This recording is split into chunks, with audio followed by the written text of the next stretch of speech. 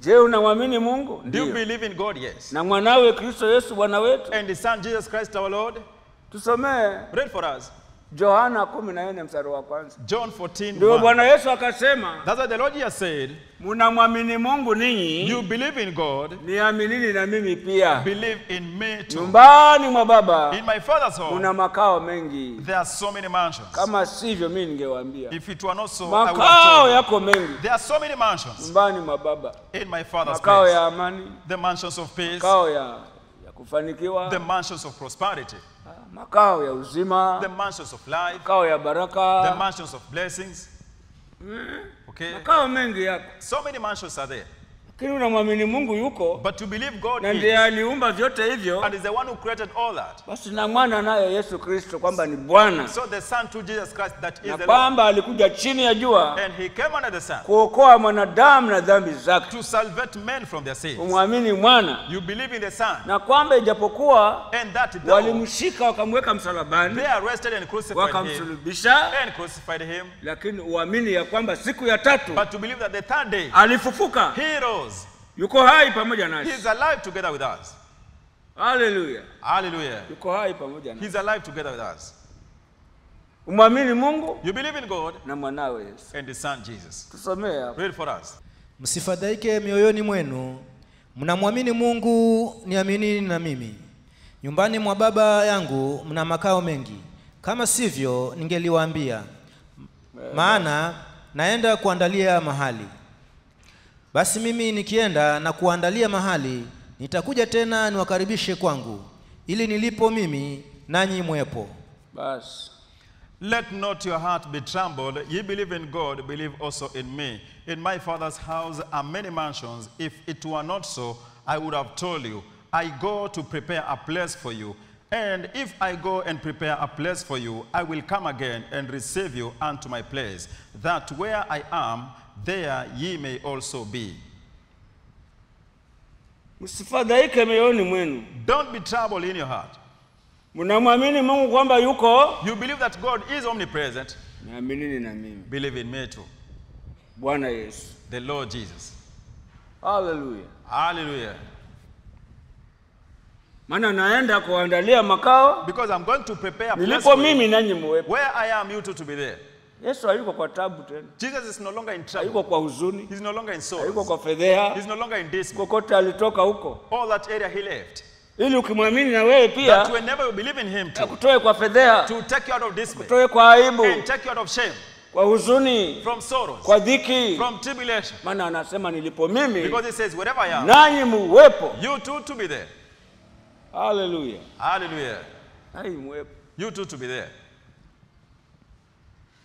Maana alikuja chini ya jua Because he came under the sun kutuokoa na dhiki na to hukumu ya save dhambi, us from the condemnation of sin and tribulation. hati hatia ya dhambi The handwriting of ordinances. aliifuta na kuigongomea msalaba, He blotted and na crucified. kwa kupigwa kwake And through his stripes, nasema mlipona. he says, You are healed. Ujaliwe kuamini hivi Being able to believe that na umuombe And you pray unto ukiwa him, thabiti moyoni mwako. being very firm in your heart. Yesu Kristo, Jesus Christ. Ulisema wewe ulipigwa, You said you are striped, kupigwa kwako and nipone, through your stripes I may be healed. naomba uniponye Heal me from this na uniokoe. And save me from this area. Hallelujah. Hallelujah. Uombe sawasawa na neno lake alivyosema. You pray according to his word. Wewe ulisema uliutoa udhaifu You said you took na all the kuyachukua magonjwa yangu. and took away my diseases. Nichukulie udhaifu huu Take away from me this weakness na magonjwa haya and these na, diseases na huzuni hizi. and these sorrows. Unaomba You pray sawa sawa na neno lake Yesu Kristo Bwana according to how the word is, ukiwa na hakika kwamba yeye yuko that he is. na waombaji wako. And there are prayerful people there. Imani hiyo iko kwa wengi, That faith is there in so many people. lakini mimi ndio maswali, mbona Mungu asifanye kazi? I normally question why shouldn't God Naye alisema ombeni mtapata, And he said, You pray, shall be given. mtafunguliwa, Knock, shall be opened. tafuteni mtaona, Seek, you shall find. Mkiomba lolote kwa jina langu, When you pray anything in my name, anasema nitalifanya. he says, I Baba atukuzwe ndani ya mwana. the Father to be glorified in the Son. Mbona leo niombe pale pasifanyike? Why today I pray something not to happen here? Je, Now, waomba lakini moyoni umefadhaika, do you pray with sorrows in your heart? kama anavyosema msifadhaike mioyoni As mwenu. he says, don't be troubled in your heart. Waomba lakini moyoni unafedhea You pray, but trouble in your heart. unashaka sijui You are nitapata doubtful. I don't know whether I'll receive this. naye anasema And he says, msifadhaike Don't be troubled. vile mnavyoamini mungu yuko The way you believe God aliumba mbingu na nchi na bahari He created the world, the heavens, and the earth, and the sea, na anga and the sky. basi niamini na mimi pia So kwamba believe in me too. nilikuja chini ya jua That I came under the sun kuokoa wenye dhambi wa kwanza ni wewe na mimi to save the sinners, you and I be the first one. tena ijapo nilisulubiwa Again, though I was crucified hata nikawekwa kaburini and put in the sepulchre, siko tena niko hai. I'm no longer in the sepulchre, I'm alive now. yuko wapi Where is he? Yuko wapi ambaye ana hakika na hilo Where is he who is certain with hata anaweza kupiga magoti akiwa na hakika na He hilo can kneel down being certain moyoni with mwake hana shaka In his, hafadhaiki in his heart is no doubt. na anaomba akiwa anajua ni haki yangu And his praise, knowing it's na my ana right. hakika yesu ananisikia And he's certain Jesus hears me. haleluya Hallelujah. maana kinachofanya kazi ni imani Because what works most is the faith. na wako wana imani And there are those who do believe. kubwa Very great faith. Hallelujah. Hallelujah. ndio lazima uwaze That's why you must think. uwaze You think na ufikirie and meditate. Why? Nimuite mungu asifanye I call upon God not to work. na kristo yesu bwana wetu And Christ Jesus our Lord. ndio mimi utafuta kitu hicho That's why I normally seek for that. kizuizi kiko wapi What is the hindrance here? Na ninamwamini bwana yesu And I believe in the Lord Jesus. sina tegemeo lingine I don't depend on something else. sina tumaini I lingine don't have any other hope. moyoni na hakika yeye anaweza In my heart, I'm certain that He's able.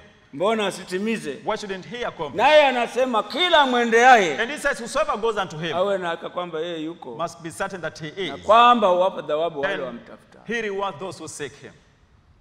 mbona nimwite asitimize Why should I call upon Him not to fulfill in me? Nimekuwa adui wa mungu I've become an enemy to God. Where? maana waweza kwa mkristo kweli Because you may be a Christian truly. unapenda mungu You love God. unatumikia mungu You are serving God. unafanya kazi za mungu You are doing the work of God. lakini ushangae But you may be surprised. mbona zile baraka za mungu Why the blessings of na God yale mema ya mungu niliyoahidiwa goodness of God I was mbona promised sioni mema hayo Why don't I see those good things? Na umekuwa adui mahali You've become an enemy somewhere. ndio tulikuwa nalo jumapili kuwa adui wa That is a topic we had on Sunday, being an enemy to God. Haleluya Hallelujah. mkristo kweli A Christian truly, una kazi nzuri kabisa. you are very great to hata kabisa watarajia uone baraka that you expect to see this blessing. uone amani pale and see peace Maana uzima pale and see life in this world. Ni mbona haviwi vile ninavyotarajia? it doesn't happen as I expect them to be maana uko adui wa mungu because you are an enemy to God. haleluya Hallelujah. Kwa adui wa mungu You become, you become an enemy to God. kivipi How? Mungu You become an enemy. maana mungu ni mtakatifu Because God is holy. na alisema iweni watakatifu And He said, Be holy kama mimi nilivyo mtakatifu as I am holy. hatujafikia hilo We've not attained lakini that. ya kuona una bidii But to see you diligent, kutembea katika neno lake. walking in His word.